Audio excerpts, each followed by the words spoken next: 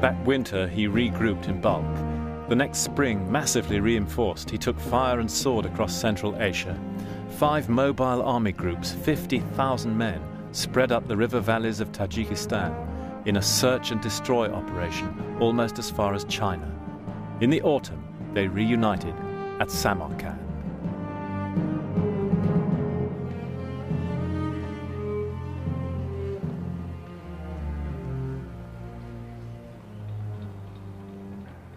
Samarkand, the most famous and glamorous city on the Silk Route. In Alexander's day, it was the chief town of Sogdia, today's Uzbekistan.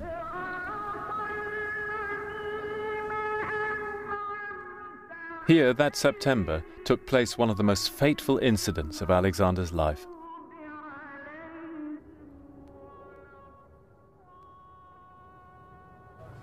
Just outside the city gate lies the mound of the ancient town and the remains of the Sogdian palace.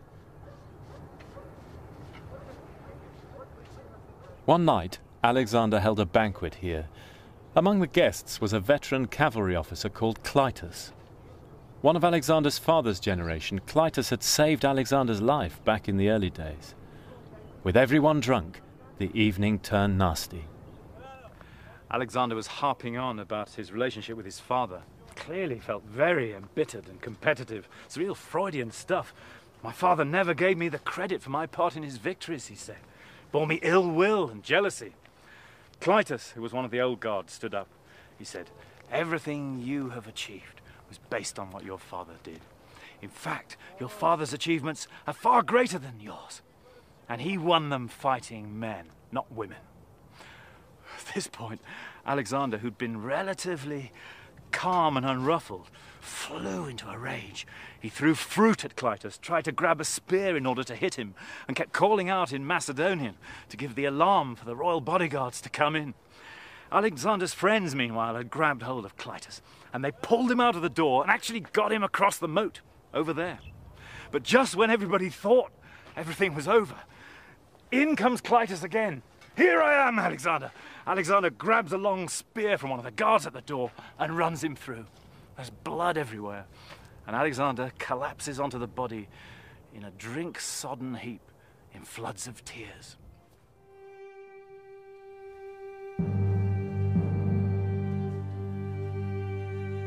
Some said Clytus got what was coming to him, and the king now suspended freedom of speech.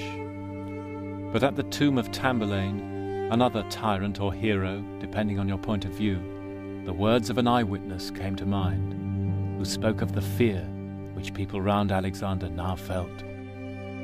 He was a very violent man, with no regard for human life, who was said to be melancholy mad.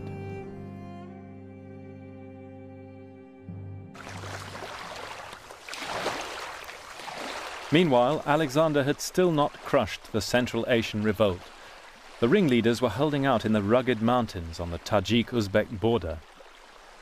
With their wives and children, they'd taken refuge on an inaccessible peak known as the Sogdian Rock.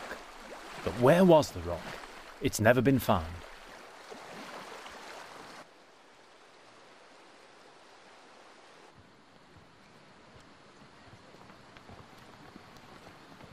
We were sleeping at a village high in the mountains. Hearing of our search for the rock, over breakfast the local men showed us an old manuscript of the Alexander legend.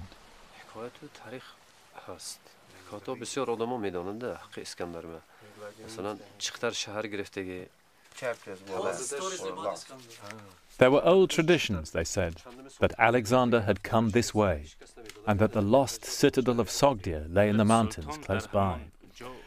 Stories like this are ten a penny in these parts, where you'll find Alexander's legend everywhere.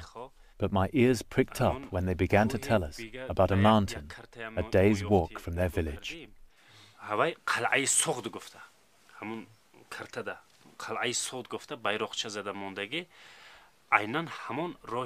This, their forefathers had told them, was the Sogdian rock. They offered to take us there. It seemed worth a try.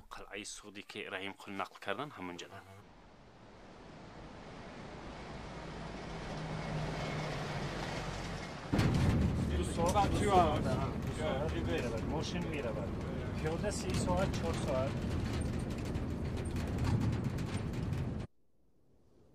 The mountain lies right in the heart of ancient Sogdia. It's called Hazrati Sultan.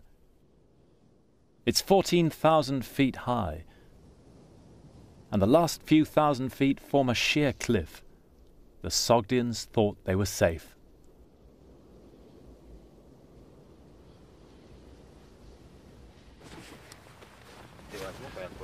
Alexander was about to give up attempting to seize the Sogdian rock. But one of the ambassadors who came down from the Sogdians irritated him so much, Arrian says, that he had to go on and seize it in pursuit of glory. The ambassador simply said, in response to Alexander's demand for them to surrender, just find soldiers who can fly. Nobody else is going to be of any concern to us. Alexander asked for volunteers with experience in mountain climbing. 300 men came forward, herdsmen from the Macedonian uplands. They took ropes, made pitons from iron tent pegs. The climb was difficult enough for our local guides, but Alexander's men did it at night, on the back face where they wouldn't be seen.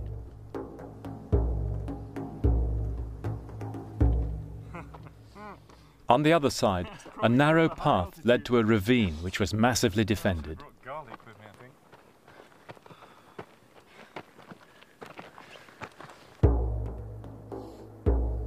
32 of Alexander's climbers died on the rock.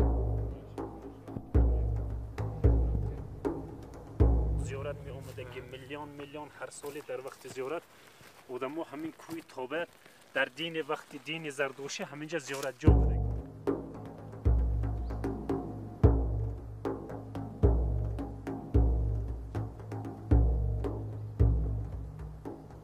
Dawn the next day, Alexander's 300 mountaineers appeared over the top of the ridge up there, waving flags.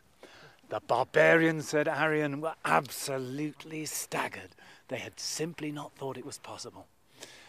Alexander's herald rushed up to their front line and shouted across to them. You better surrender now, he said. You see, I found the soldiers who could fly.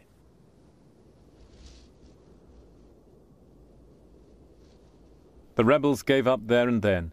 The story was remembered ever after as proof of Alexander's almost superhuman powers.